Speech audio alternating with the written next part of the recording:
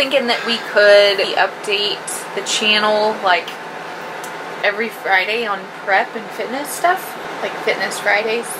Do we have a schedule?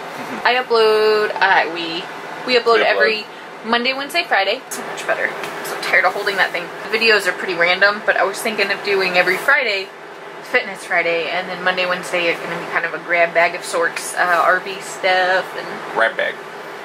For now. injury updates, things like that. And here in less than a month, hopefully we'll have some more uh, travels. travel yeah. updates. You Yeah. got hair on your neck. I've, I have hair everywhere now. I just I trimmed trimmed my beard. Looks good. I mean, I guess we could try it this week and then see what people think. But really, I'm, I mean, I'm gonna keep putting prep updates in there. So far, so good. I'm doing good too. What? Uh, we're about to go to the rock gym, and I'm gonna do some climbing. My weight's already down a few pounds from the start, which is, of course, um, that's pretty expected. Once you lower your calories or you increase your activity level, you're gonna lose some water weight. That's why a lot of people, whenever they go on a diet, they see a lot of weight loss in the first couple weeks. A lot of it is water weight. Anyway, we'll see how the next week goes. Yeah. Yeah. Right now I'm Okay. making some food to take with us before I go to the rock gym because I'm hungry.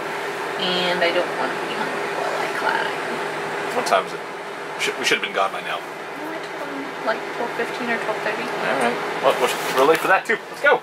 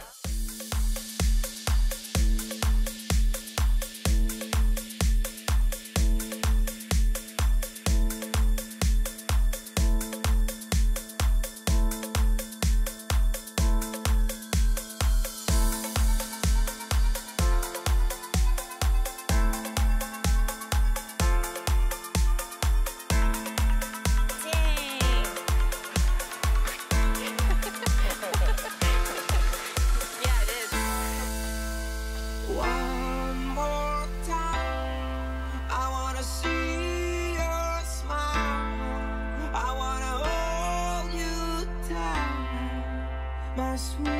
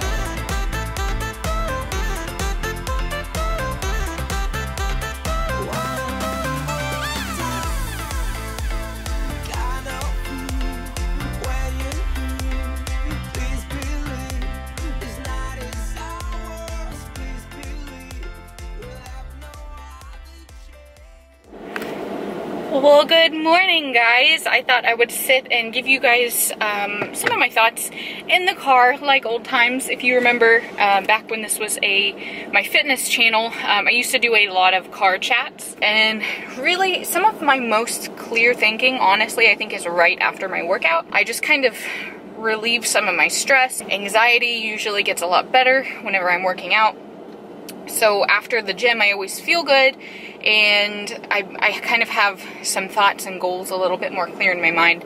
So I thought that I could do some overlay overlay footage of my workouts from this first week of my prep, while I give you guys some insight into what this prep and what this prep series is going to look like. So if you're not familiar with the realm of bodybuilding, I know it's very different seeing people super tan up on the stage, minimal clothing, like what the heck? It seems super weird.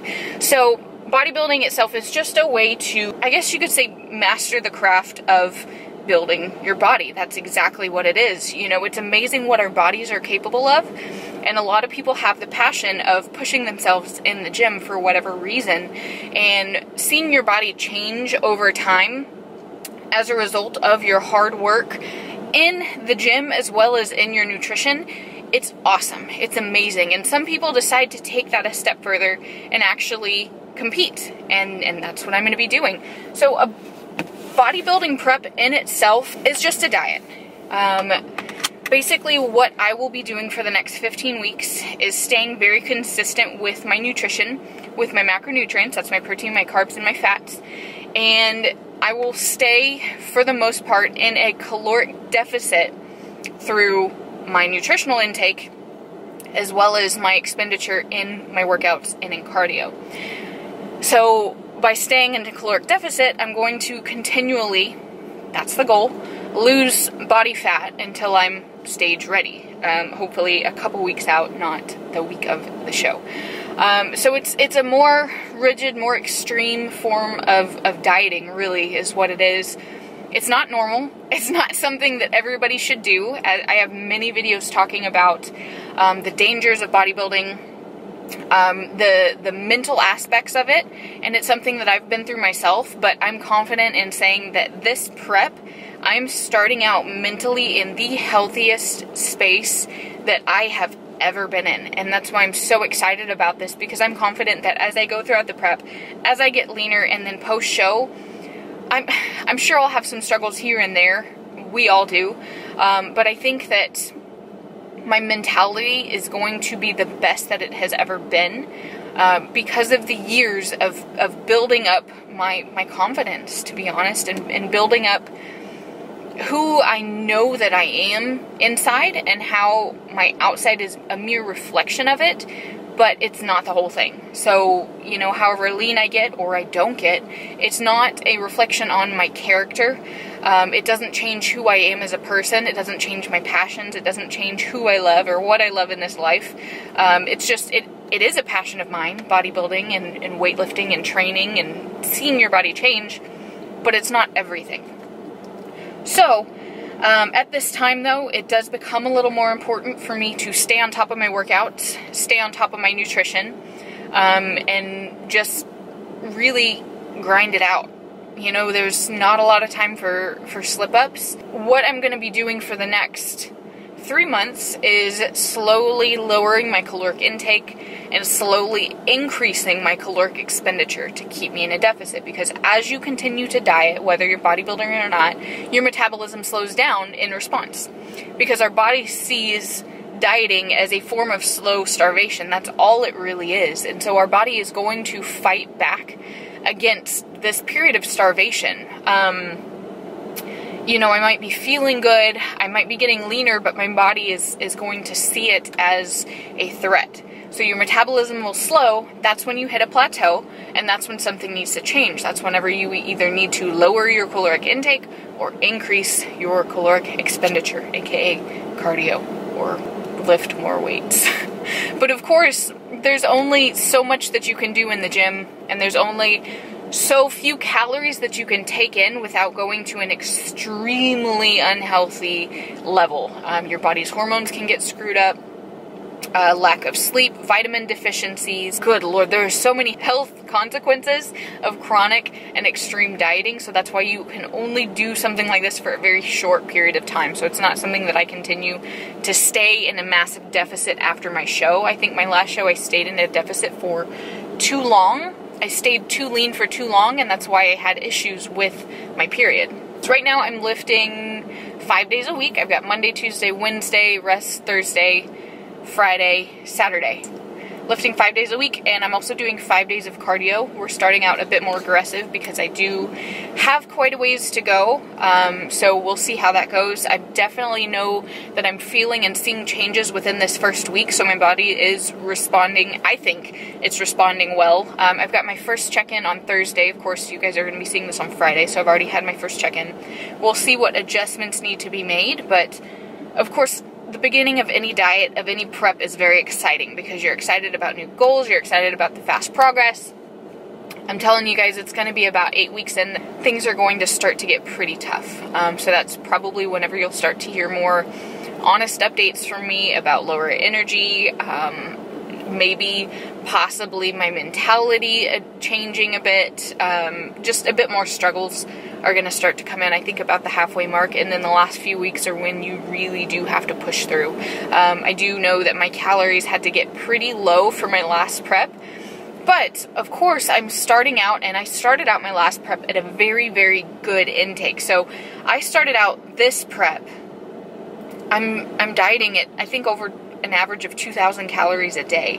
Um, years and years ago, I was struggling to maintain my weight at 1,800 calories, and I was consistently gaining weight. So it just shows you that when you do take time to diet, when you are dieting and you put yourself on a lowered caloric intake, um, for a lot of women, that seems to be like 12 to 1,500, which is mind blowing to me. Um, you have to take time to build your metabolism back up because like i said as you continue to diet your metabolism adapts and it lowers. So you might start out your diet at 1800 calories you hit a plateau around 1500 then you've got to lower it again you hit another plateau you've got to go down to 1200 calories. Well if you go back to eating two 3000 calories a day your metabolism's still down here. It's not going to be able to catch up so you're going to gain all of that fat back usually and then some. And that's how people usually get on that yo-yo diet train. So after my show i'm going to have to reverse diet and add calories back in although i think i'm going to be a bit more aggressive with this next reverse diet than i was with the last one but of course only time will tell. I hope you guys are enjoying these prep updates. If you do, please hit that thumbs up. It does let me know to keep doing them. I know that this is different for the channel, but again, this is part of my career, part of my life, and it's something that goes along with our RV lifestyle. Um, anytime we travel, it's it's going to be interesting to see how this goes and how I can tie it together but hopefully I can show you guys that, you know, pushing towards your physical goals or your fitness goals doesn't have to be sacrificed for traveling or if, if situations aren't optimal or if you don't have access to a gym. So we'll see.